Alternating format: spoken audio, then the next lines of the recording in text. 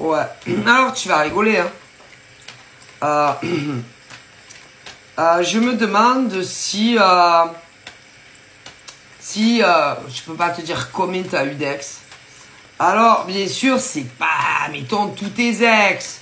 Ça dépend, hein. Parce qu'il faut que ça, ça fasse affaire à ce genre de mec ou de nana. Mais, en général c'est ce truc clairement. Euh,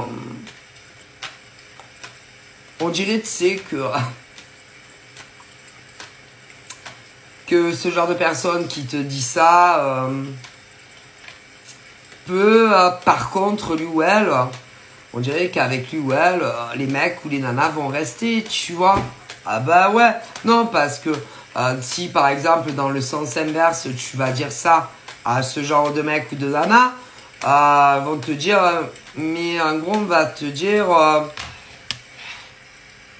que en gros, tu souhaites du mal. Oui, que tu es jaloux, jalouse. Mais par contre, eux, ils ont le droit de te dire, ah ouais, mais de toute façon, il se sert de toi ou elle se sert de toi.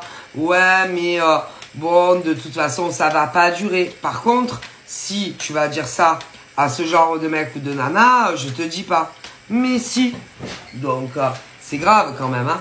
Et puis, bon, en général, on bave sur euh, tes ex ou euh, un mec ou une nana que tu fréquentes, même aussi.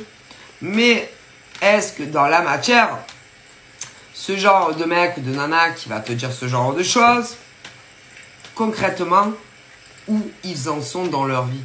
Non, parce que ça serait quand même intéressant de voir si on a pu vraiment te piquer un ex. Jusqu'à preuve du contraire, non. Ou est-ce que même dans le futur, on, a réussi à te piquer un mec ou une nana jusqu'à preuve du contraire Non.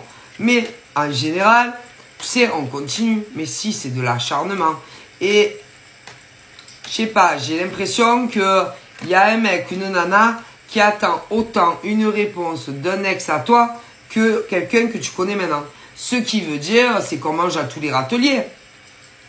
Eh si, si, et que le premier ou la première, par exemple, qui va lui dire à lui ou à elle, allez, j'ai réfléchi, allez, on se met ensemble, va y aller. Donc, euh, ah, c'est un lit d'ordure, c'est un déchet, quoi, ce genre de mec ou de nana.